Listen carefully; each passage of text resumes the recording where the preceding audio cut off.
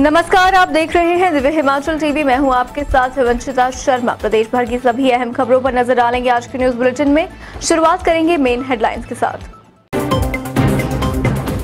सरिया फैक्ट्री की लापरवाही, मजदूरों पर पड़ी भारी। भट्टी में धमाका होने से आठ मजदूर झुलसे।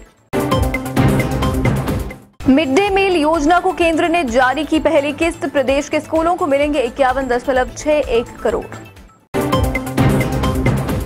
मन की बात कार्यक्रम में दो बार हिमाचल का ज़िक्र। देश के लिए मिसाल बनी परागपुर की गगोट पंचायत। मकान मालिक को केक में खिला दिया नशीला पदार्थ। चोरी कर फरार हुए किराएदार परिवार की अस्पताल में खुली आँख पैंतालीस फ़ीसदी अभ्यर्थियों ने दी इंस्पेक्टर लीगल मेट्रोलॉजी की लिखित परीक्षा। 920 अभ्यर्थियों को जारी हुए थे कॉल लेटर।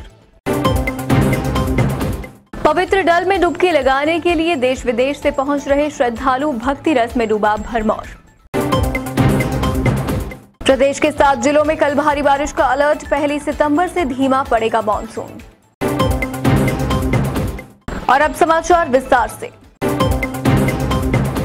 बिलासपुर की एक सरिया फैक्ट्री की लापरवाही मजदूरों पर भारी पड़ी है। यहाँ रविवार सुबह हुए एक दर्दनाक हादसे में आठ मजदूर झुलस गए हैं। हादसा एक सरिया फैक्ट्री में, भट्टी में ब्लास्ट होने से पेश आया है। बताया जा रहा है कि कंपनी ने मजदूरों को सेफ्टी किट नहीं दी थी। ब्लास्ट से झुलसे आठ में से छह मजदूरों की हालत गंभीर है और इसे देखते हुए उन्हें पीजीआई रेफर कर दिया गया है। वहीं सीएम ने भी घटना पर शोक जताया है। विस्तार से देखें ये खबर। हिमाचल प्रदेश के बिलासपुर ज़िले में एक सरिया फैक्ट्री में शनिवार देर रात जोरदार ब्लास्ट हो गया। ब्लास्ट से आठ मजदूर झुलस गए। सभी को अस्पताल में भर्ती करवाया गया है। सीएम जयराम ठाकुर ने हादसे पर चिंता जताई है। जानकारी के अनुसार ग्वालथाई स्थित सरिया फैक्ट्री में रात करीब दो बजकर पचास मिनट पर अचानक भट्टी में जोरदार धमाका हुआ। भट्टी में ज़्यादा स्टीम बनने के कारण ये ब्लास्ट हुआ। इसकी चपेट में आने से आठ मजदूर झुलस गए। छह घायलों को पीजीआई रेफर किया गया है और दो का ऊना अस्पताल में इलाज चल रहा है। आरोप है कि हादसा फैक्ट्री प्रबंधन की लापरवाही के कारण हुआ है। फैक्ट्री ने इन्हें सेफ्टी किट नहीं दी थी। पुलिस ने झुलसे मजदूर दीप कुमार, पुत्र वीर सिंह निवासी गाँव बीपर जिला सोलन ने शिकायत दर्ज करवाई है। थाना कोट कहलूर में पुलिस ने मुकदमा दर्ज कर लिया है और जाँच शुरू कर दी है। स्टील कंपनी में गैस रिसाव हादसे का कारण बताया जा रहा है। एसएचओ गौरव भारद्वाज ने मामले की पुष्टि की है। एक्चुअली क्या ढाई बजे के अप्रॉक्सीमेटली फर्नेस स्लैग ऑफ़ के लिए लिफ्टिंग की है। स्लैग ऑफ़ होने के बाद जैसे ही फर्नेस वापस है तो उसका हाइड्रोलिक फेलियर हुआ। तो एकदम उसके ऊपर स्ट्रेस पड़ने से बॉटम से मेटल रश आउट हुआ और जिसकी वजह से ये हादसा हुआ। जिसमें हमारे आठ वर्कर्स जो हैं वो इंजर्ड हुए हैं। तीन को माइनर माइनर इंजरीज थी उसको उनको हमने ऊना हॉस्पिटल सिविल हॉस्पिटल में फ़र्स्ट एड के लिए भेजा।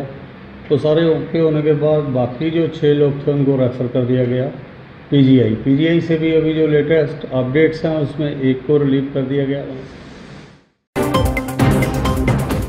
मिड डे मील योजना के तहत केंद्र ने प्रदेश को पहली किस्त जारी कर दी है। प्रदेश के स्कूलों को इक्यावन करोड़ इकसठ लाख की राशि मिलेगी। अब शिक्षकों को, कर्मचारियों को आर्थिक तंगी नहीं झेलनी होगी। केंद्र की प्रधानमंत्री पोषण अभियान के तहत प्रदेश के स्कूलों को इक्यावन करोड़ इकसठ लाख की राशि जारी हो चुकी है। राहत की बात यह है कि अप्रैल माह से जिन स्कूलों में बजट न मिलने के चलते दिक्कत आ रही थी, वहाँ पर अब शिक्षकों और कर्मचारियों को आर्थिक तंगी नहीं झेलनी पड़ेगी। मिड डे मील के लिए खाद्य सामग्री खरीदने के अलावा मिड डे मील वर्करों के मानदेय पर भी खर्च किया जाएगा। निदेशालय ने सभी शिक्षा खंड अधिकारियों को ये राशि जारी कर दी है। अगले सप्ताह तक ये राशि संबंधित स्कूलों के बैंक खातों में पहुँच जाएगी। वहीं प्रस्ताव के तहत ताजे फल के साथ ताजी सब्ज़ियाँ देने की भी योजना है। प्रधानमंत्री नरेंद्र मोदी ने मन की बात कार्यक्रम में दो बार हिमाचल का ज़िक्र किया है, जो प्रदेश के लिए एक गौरव का क्षण है। मन की बात कार्यक्रम में परागपुर की गंगोट पंचायत ने भी देश भर में पहचान बनाई है। वहीं सीएम जयराम ठाकुर ने भी मन की बात में प्रदेश का ज़िक्र होने की बात को प्रदेश के लिए बड़ी उपलब्धि बताया है। जाने, क्या रहा है आज के कार्यक्रम में खास। प्रधानमंत्री नरेंद्र मोदी ने रविवार सुबह मन की बात कार्यक्रम के माध्यम से देश की जनता को संबोधित किया। मन की बात में आज हिमाचल का भी ज़िक्र आया। पीएम ने जिला कांगड़ा स्थित ब्लॉक परागपुर की गंगोट पंचायत का ज़िक्र किया, जहाँ 15 अगस्त का समारोह पंचायत प्रतिनिधियों द्वारा बहुत ही अनोखे ढंग से मनाया गया था। गगोट पंचायत ने झुग्गी झोंपड़ी में जीवन यापन कर रहे मजदूरों के बच्चों को बतौर चीफ गेस्ट बुलाया था। इन बच्चों द्वारा गणमान्य लोगों की तरह झंडा फहराने की रस्म अदा की गई थी, जिसे पीएम ने खूब सराहा। इसके अलावा प्रधानमंत्री ने किन्नौर के कल्पा में बच्चों की ओर से किए गए हर घर तिरंगा कार्यक्रम का ज़िक्र किया और स्पीति में मटर की खेती में ग्रामीणों के आपसी सहयोग की सामाजिक व्यवस्था को भी सराहा। पीएम ने हिमाचल प्रदेश से मन की बात के श्रोता रमेश से मिले पत्र का ज़िक्र करते हुए कहा कि पहाड़ों पर रहने वाले लोगों के जीवन से बहुत कुछ सीख सकते हैं। पहाड़ों की जीवन शैली व संस्कृति से पहला पाठ तो यही मिलता है कि हम परिस्थितियों के दबाव में न आकर आसानी से उन पर विजय भी प्राप्त कर सकते हैं। और दूसरा, हम कैसे स्थानीय संसाधनों से आत्मनिर्भर बन सकते हैं। वहीं मुख्यमंत्री जयराम ठाकुर ने इसे हिमाचल के लिए गर्व की बात बताते हुए प्रधानमंत्री नरेंद्र मोदी का आभार जताया है। सबके बीच हिमाचल प्रदेश की गंगोट पंचायत से एक बड़ा प्रेरणादायी उदाहरण भी देखने को मिला।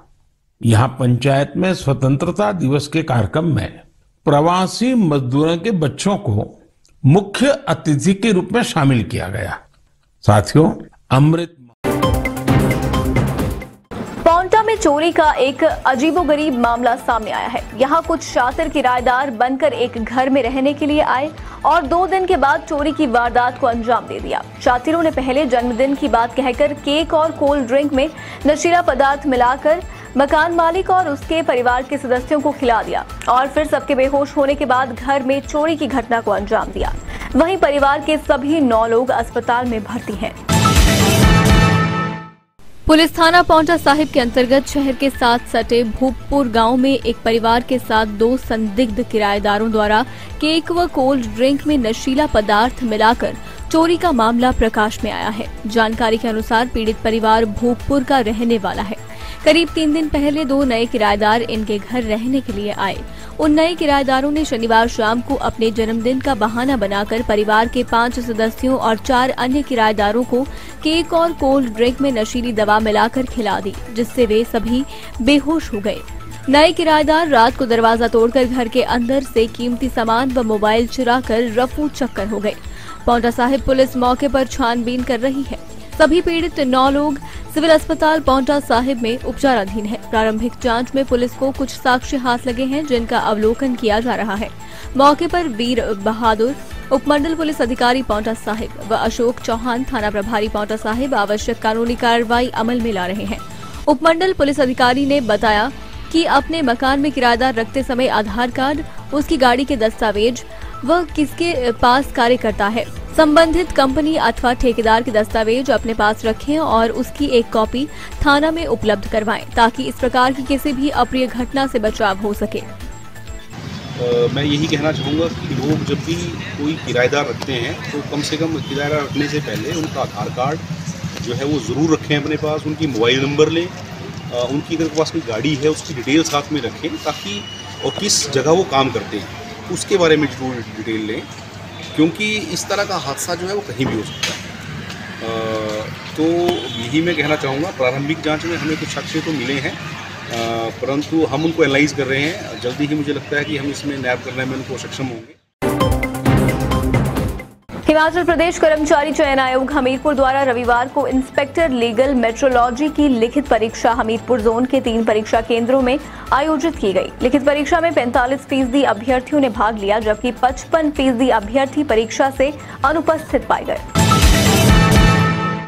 हिमाचल प्रदेश कर्मचारी चयन आयोग हमीरपुर द्वारा रविवार को इंस्पेक्टर लीगल मेट्रोलॉजी की लिखित परीक्षा हमीरपुर जोन के तीन परीक्षा केंद्रों में आयोजित की गई। लिखित परीक्षा में 45 फ़ीसदी अभ्यर्थियों ने भाग लिया, जबकि 55 फ़ीसदी अभ्यर्थी परीक्षा से अनुपस्थित पाए गए। बता दें कि inspector legal metrology post code नौ सौ उनहत्तर में तीन पदों को भरने के लिए 920 अभ्यर्थियों को कॉल लेटर जारी किए गए थे। ये परीक्षा हमीरपुर जोन के तीन सेंटरों में सुबह 10 बजे से 12 बजे तक आयोजित की गई। लिखित परीक्षा में 417 अभ्यर्थियों ने भाग लिया, जबकि 503 अभ्यर्थी परीक्षा से अनुपस्थित पाए गए। परीक्षा को लेकर अभ्यर्थियों में खासा उत्साह देखने को मिला।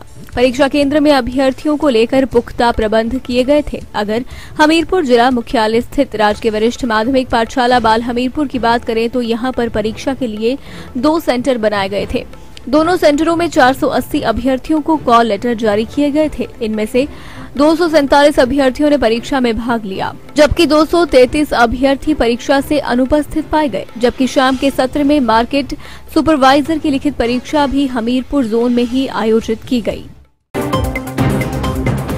हिमाचल के मंदिरों के प्रति लोगों की अटूट आस्था है। इसी कड़ी में राधा अष्टमी के शाही स्नान के दौरान पवित्र जल में आस्था की डुबकी लगाने के लिए देश ही नहीं, विदेशों से भी श्रद्धालु ऐतिहासिक चौगान में पहुँचना शुरू हो गए हैं।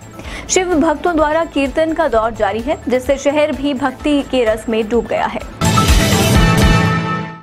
राधा अष्टमी के शाही स्नान के दौरान पवित्र डल में आस्था की डुबकी लगाने के लिए पड़ोसी राज्य जम्मू कश्मीर के डोडा जिला के भद्रवाह से शिव भक्तों की टोलियों ने ऐतिहासिक चौगान में डेरा डाल दिया है। शिव भक्तों द्वारा चौगान में भजन कीर्तन का दौर जारी रखने से शहर शिव भक्ति रस में डूब गया है।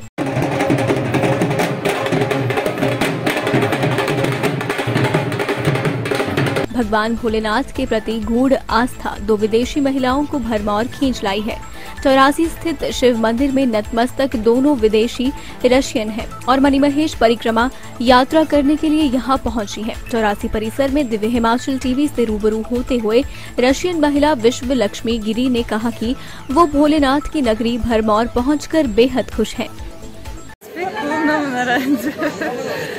I am very light any yatra. I'm follow Mahadev. I'm Bhakta of Mahadev. So when he asked me, come here, I come. Now I come here. And uh, we go to Kukti okay. and make like parikram. Okay, parikrama. Mm. By about Manivesh and Bharmav. You feel Mahadev? How do you feel? Oh, how, feel, how, how? Very good people, I like. Very here, yeah. Russia. Uh, and what's your good name? Ishalakshmi Giri. Himachal Pradesh को अभी मौसम से राहत मिलने के कोई आसार नहीं है विभाग ने सोमवार को अलर्ट जारी कर चंबा कांगड़ा सोलन सिरमौर मंडी कुल्लू और शिमला जिला में भारी बारिश की आशंका जताई है हिमाचल प्रदेश में बारिश का दौर अभी जारी रहेगा। मौसम विभाग ने सोमवार को प्रदेश के सात जिलों में भारी बारिश का अलर्ट जारी किया है। ऐसे में इन जिलों के लिए सरकार व प्रशासन की ओर से एडवाइजरी जारी की गई है। इसके बाद पहली सितंबर तक हल्की बारिश होने के आसार हैं। राज्य आपदा प्रबंधन प्राधिकरण की ओर से जारी रिपोर्ट के अनुसार प्रदेश में मानसून के कारण हुई दुर्घटनाओं में अब तक दो सौ अठहत्तर लोगों की मौत हो चुकी है। इसके अलावा 508 घायल और 9 लापता है। वहीं प्रदेश भर में 1660 रिहायशी मकान, दुकानें, गौशालाएँ व घराट भी जमींदोज हुए हैं। प्रदेश में अब तक मानसून के दौरान 1732 करोड़ रुपए का नुकसान हो चुका है। चलते चलते में नज़र डालेंगे आज की कुछ और मुख्य घटनाओं पर। जवाली में सरकारी स्कूल के प्रधानाचार्य पर पोक्सो एक्ट के तहत मामला दर्ज, नौवीं कक्षा की छात्रा से दुष्कर्म का आरोप। परवाणु शिमला एनएच पाँच पर कैप्टन होटल के पास सेब से लदा ट्रक पलटा, एक की मौत, एक गंभीर घायल। पांडा में नशीली दवाओं व छह सौ बहत्तर ग्राम भुक्की के साथ तीन गिरफ़्तार, पुलिस ने दो अलग अलग मामलों में पकड़े आरोपी। देवभूमि पहुँचे साउथ सुपरस्टार अजित प्रदेश के व्यंजनों सहित यहाँ के लोगों की जमकर की तारीफ़। दर्शकों, आज के न्यूज़ बुलेटिन में बस इतना ही। बने रहिए दिव्य हिमाचल टीवी के साथ।